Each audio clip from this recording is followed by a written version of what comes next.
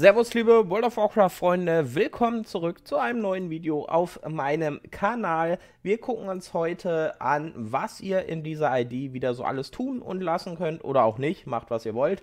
Ähm, Weekly Reset heißt dieses Format und ich würde sagen, wir, upsa, wir starten auch ohne Umschweife direkt rein. Ähm, es sind ein paar, ja, Neuerung oder zumindest eine große Neuerung dabei mit dem Handelsposten, aber auch eine kleine Quality of Life Änderung. Die gucken wir uns direkt als erstes an, weil mir die sehr, sehr gut gefällt. Und zwar müsst ihr zukünftig für die Quest zu dem oder für den Katalysator müsst ihr nicht mehr nach äh, ganz hier hinten scheppern nach Türhold, sondern ihr könnt die jetzt ganz einfach auch äh, annehmen hier neben der Volt. Ich habe die jetzt schon gehabt, weil ich die auf einem Twink angenommen habe. Äh, okay, scheinbar resettet das nicht, wenn man sie wieder abgibt. Warum auch immer. Also hier taucht sie jetzt wieder auf. Ähm, aber nichtsdestotrotz, wir können mal kurz reloggen. Vielleicht hilft das. Das hat Blizzard geändert zu diesem äh, Reset, dass dann da, wenn ihr die Quest nicht habt, ein Händler steht, der sie euch dann gibt. Vielleicht habe ich damit gerade einen kleinen Bug entdeckt, ähm, dass das noch nicht resettet, ihr die Quest wieder abbrecht. Da ist er nämlich, okay. Also scheint ein Bug zu sein. Ähm, da könnt ihr die dann einfach ganz wieder an, ganz einfach wieder annehmen. Und wie ihr gerade gesehen habt, wenn ihr äh, die Quest abbrecht, müsst ihr scheinbar erstmal reloggen, bevor ihr sie wieder annehmen könnt. Dazu diese Woche der ganze Standardkrams, den wir sonst auch haben. Äh, macht eine Jagd, macht die Belagerung der Drachenfluchfestung, macht hier unten, äh, wenn ihr wollt, das gemeinschaftliche Festmahl. Äh, was haben wir noch? Habe ich irgendwas vergessen? Ich glaube nicht. Ähm, das sind so die wichtigsten Punkte. Dann haben wir natürlich wieder eine Weekly Quest, helft dem Abkommen. Äh, da müsst ihr eine Jagd für abschließen, damit ihr am Ende hier die Quest abschließen könnt mit den Rufboni und dem ganzen Drum und Dran. Also lohnt es sich zumindest eine Jagd in dieser Woche zu machen. Dann hier der Herr von den harten Drakoniden gibt uns die Quest, gewinnt vier Schlachtfeldpartien. Das hängt mit dem Bonusereignis zusammen äh, Zeichen der Schlacht, Ziele und Siege auf Schlachtfeldern erhaltene Ehre um 50% erhöht. Also über BGs könnt ihr in dieser Woche ziemlich gut ähm, Ehre farmen, wenn ihr das denn wollt. Dazu haben wir dann halt hier wieder Dungeon Quest, Azurblaue Gewölbe. Die sind beide wieder in derselben Ini. Lohnt sich also tatsächlich anzunehmen. Die könnt ihr auch im Mythisch Plus abschließen. Ähm, das ist nicht so verkehrt. Und dann haben wir hier drin wieder Funken des Lebens in den Ebenen von Onara, die Sturmwoge-Quest. Ähm, ihr kennt das ganze Spiel. Dann auf das neue Event bin ich ja auch schon eingegangen. Hier. Ähm, da ist jetzt auch der World Boss Liskanot äh, den könnt ihr diese Woche machen. Aber wenn ihr im temporalen Konflux durch dieses Portal geht, ist ja jetzt dann auch dieser äh, Zorn des Sturms, diese Primalisten-Zukunft, wo ihr auch dieses Event abschließen könnt, wofür es dann diese Essenzen des Sturms gibt. Dadurch kann man dann jetzt auch Trinkets und so weiter kaufen. Also das ist auch noch eine Möglichkeit, was ihr in dieser Woche so zu tun haben könnt. Wie gesagt, World Boss Liskanot, den haben wir uns auch schon ein paar Mal angeguckt. Ich denke, das wird jetzt dann auch zu langweilig, wenn wir das immer und immer wieder machen. Ähm, Ebenfalls weiterhin relativ wichtig, meiner Meinung nach, macht eure Berufs-Weekly-Quests hier, angefangen mit äh, zeigt euren Eifer, wo ihr kostenlosen Eifer des Handwerkers obendrauf bekommt. Natürlich, die Quests unterscheiden sich je nachdem, welchen Beruf ihr gerade habt, aber nichtsdestotrotz, es lohnt sich, die Dinger zu machen. Nicht nur, dass man Eifer und Ruf beim Handwerkerkonsortium und so weiter und so fort bekommt, man kriegt halt auch diese Notizen, wodurch man Skillpunkte in seinem Beruf bekommt und ich würde sagen, die sind schon relativ wichtig. Apropos Skillpunkte im Beruf, ab Sonntag, da werde ich aber nochmal ein explizit eigenes Video für machen, macht der Dunkelmondjahrmarkt wieder auf und da könnt ihr einmalig, wenn der aufhat, ebenfalls Berufsquests abschließen, die euch Skillpunkte geben, also richtige Skillpunkte, ähm, die hier dann und gleichzeitig dieses Berufs-Knowledge. Also die lohnen sich durchaus zu machen. Ähm, habe ich schon mal ein Video zu gebracht, aber da es noch relativ frisch ist, dieses Feature, werden wir das Ganze dann auch nochmal machen. Genauso äh, Mondfest endet nächste Woche Dienstag, hatten wir auch einen Guide zu. Wenn ihr da noch Erfolge, Items oder sonst was braucht, haltet euch ran. Und dafür beginnt nächste Woche Liebe liegt in der Luft. Mein jährlicher Farm nach der Liebesrakete geht wieder los. Ähm, da gucken wir uns dann auch extra ein Video nochmal zu an wenn es dann soweit ist. Aber da dürft ihr euch schon mal drauf freuen. Sammelt 8 Krümmrinde, toll. Ich habe nur 4. Das ist auch wie immer der wöchentliche Hinweis, wenn ihr hier nicht genug beziehungsweise es gibt, wenn ihr einen Sammelberuf habt, halt immer eine Weekly Quest, sammelt XY von dem und dem Zeugs und den Kram könnt ihr euch halt auch ganz einfach im Auktionshaus kaufen.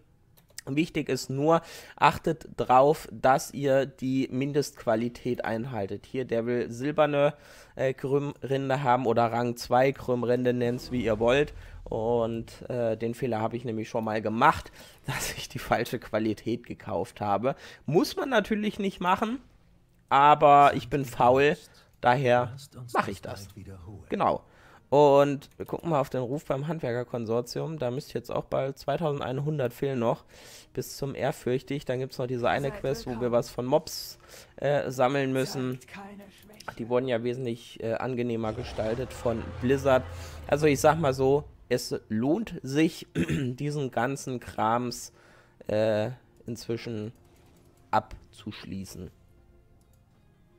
Bringt euch einfach Vorteile. Ähm, wenn ihr aber sagt, okay, die Berufe sind mir komplett Wurst, dann äh, lasst es einfach links liegen.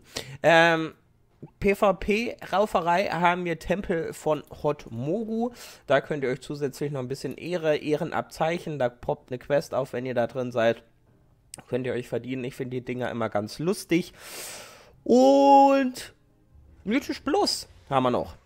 Äh, da haben wir diese Woche die Affixe tyrannisch, boshaft und bebend. Ich würde sagen, für Milis eine ätzende Woche, aber alles in allem im Vergleich zu, weiß nicht, den letzten zwei, drei Wochen dürften es die einfachsten Affixe sein, auch wenn es Tyrannical ist.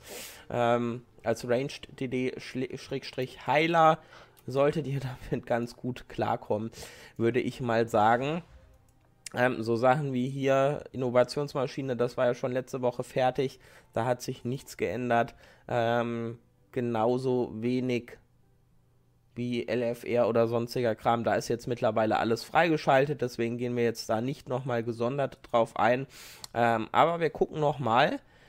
Dünnschlinger Kraulock hat man letzte Woche, also da gibt es diese Woche nichts zu holen und auch die nächsten paar Wochen nicht. Im Dalaran von Nietzsche haben wir immer noch die Quest Teuflische Fragmente, Archäologie. Die ist jetzt eigentlich nur relevant, wenn ihr da so einen Meta-Erfolg sammeln wollt. Ähm, Sage ich ja auch jede Woche, da gibt es immer im zweiwöchentlichen Rhythmus neue Quests, wodurch ihr auch unter anderem Mounts äh, ergattern könnt. Aber das Item, was es da jetzt gibt, ist einfach nur ein graues, was ihr für 50 Gold verkaufen könnt. Ist wie gesagt eigentlich nur relevant für den Meta-Erfolg, wo man von diesen ganzen äh, Bi-Weekly Quests äh, Items sammeln muss. So, und dann das große neue Feature dieser Woche, dieser dieses, äh, ja, Februar-Starts ist der Handelsposten, den ihr besuchen könnt, der allerdings verbuggt ist aktuell, beziehungsweise hat Blizzard geschrieben, dass sie dieses äh, Gerät äh, erstmal deaktiviert haben. Steht in Orgrimmar und Sturmwind. Ihr kriegt direkt mal, wenn ihr Besitzer einer Version von Dragonflight seid, 500 dieser Händlerdevisen für äh, Lau obendrauf. Also das ist ja die neue Währung des Handelspostens. Also da nicht wundern. Theoretisch, wenn ihr dann diese Quest abgeben könnt, ähm, bekommt ihr einmal im Monat nochmal 500 obendrauf. Einfach nur fürs Einloggen bzw. Quest abgeben. Und dann seht ihr, gibt es hier Aufgaben, die ihr machen könnt, um maximal auf 1000 Punkte im Monat zu kommen. Da sind teilweise Aufgaben dabei, die brauchen etwas länger. Zum Beispiel besiegt 25 Schlachtzugsbosse oder 50 Dungeon-Bosse oder 10 Handwerksaufträge erfüllen, 30 Quests abschließen, 5 M Plus Dungeons. Ähm, das sind so Sachen, denke ich, die, äh, ja, kriegt man im Laufe der Zeit. Allerdings gibt es auch welche, die sind relativ einfach zu sammeln. Zum Beispiel hier verwendet Leckerlis für glückliche Haustiere. Äh, wenn ihr die noch am Start habt, ist jetzt nicht so super schwer. Oder zeigt dem Handelsposten etwas Liebe. Händler des, der Handelsposten eure Liebe gezeigt. Dann nehmt ihr einfach hier die, die Dudes ins Target und gebt slash Liebe ein. Und dann müsst ihr nur drauf achten. Hier haben wir ist das die Kleiderpuppe? Slash Liebe. Müssen wir mal schauen. Jo, das hat geklappt. Reittier des Handelspostens, eure Liebe gezeigt. Dann nehmen wir das Ding. Slash Liebe. Und jetzt müsst ihr irgendwo noch so ein. Also hier stehen die. Na? Reittiere. Jetzt müsst man nur hier irgendwo. Läuft hier irgendwo ein kleines Pet rum. Ist es das? Wir probieren es einfach. Slash Liebe. Hat geklappt? Nö. Cool. Äh, wo ist hier das Haustier? Das sind doch Haustiere, oder nicht? Da muss ich sie streicheln. Nee, das reicht auch nicht. Also irgendwo hier muss jetzt noch so ein kleines Haustier rumspringen, dem wir slash love zeigen, schrägstrich sagen können. Und dafür gibt es dann auch nochmal äh, was obendrauf. Was aber zum Beispiel auch sehr, sehr einfach geht, ist hier dieses Liebe liegt in der Luft, verwendet Cupidos Ruhestein auf den Dracheninseln. Wenn ihr den schon habt, habt ihr natürlich Glück. Ich bin mir jetzt nur nicht sicher, ähm, ob das nur während das Liebe liegt in der Luft festgeht oder jetzt auch vorher. Deswegen testen wir das jetzt einfach mal aus. Äh, ansonsten, achso, Steht auch dran, ich Idiot. Verwendet in der Zeit vom 6.2. bis zum 20.2. Cupidos Ruhestein auf den Dracheninseln. Aber wenn ihr den schon habt, easy verdiente 150 Flocken. Äh, darunter gibt es hier auch noch was bei Spezial, den Drachenaspekten etwas Liebe zeigen. Äh, auch das sehr, sehr einfach, wenn ihr eure Berufsweeklies macht. Da gibt es eine Aufgabe, zwei dieser Sammelquests abzuschließen für 100 Punkte. Also ich sag mal so, es gibt ein paar Sachen, die sind schwierig. Es gibt ein paar Sachen, die sind super einfach. Und 200 Punkte kriegt ihr schon mal automatisch mit. So, zack. Und da seht ihr, es zeigt den Drachenaspekten eure Liebe. Ich habe sie alle geliebt jetzt. Und hier dieses, wenn ihr alle optionalen Geschichtsstränge abgeschlossen habt, habt ihr auch schon mal 200 Punkte äh, ergattern können. Also, ja, sagen wir, wie es ist. Ich würde jetzt mal behaupten, ähm, es gibt Sachen, die lohnen sich zu machen. Äh, wenn ihr mit dem AH viel handelt, ist das mit den 5000 Gold, glaube ich, auch relativ easy. Ähm, aber es gibt Sachen, da würde ich sagen, das lohnt sich jetzt nicht wirklich. Ähm, aber es sollen ja auch Sachen sein, die den ganzen Monat beschäftigen. Und so wie ich das richtig sehe, bekommt ihr in diesem Monat, äh, wenn ihr diese 1000 Punkte voll gemacht habt, ein Mount. Ashara, Herold der Morgendämmerung. Und dafür würde ich schon sagen, das lohnt sich, das zu machen. Das Ding sieht ziemlich sexy aus. Also sehr, sehr cooles Mount. Damit sind wir durch für diese Woche. Ich bin es sowieso. Ich hoffe, äh, es hat euch wie immer gefallen. Und, aber das zum Beispiel, das ist was. 15 Dungeons auf Mythisch Plus. Also nur für die 200 Punkte würde ich mich da jetzt nicht dran setzen. Wenn ich die sowieso mache, okay. Aber es geht schneller, 25 Raid-Bosse zu besiegen, als 15 Mythisch Plus Dungeons zu machen. Zumindest mit der richtigen Gruppe.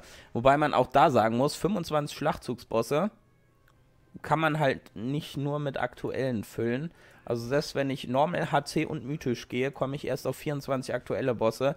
Aber ihr könnt, soweit ich das weiß, mit alten Bossen füllen. Da ist man dann da halt auch wieder ein bisschen schneller dran. Nun ja, wie dem auch sei. Damit danke an euch fürs Zusehen. Lasst ja gerne ein Like und ein Abo da, wenn euch das Video gefallen hat. Und ich würde sagen, bis zum nächsten Video. Habt eine gute Zeit. Reingehauen.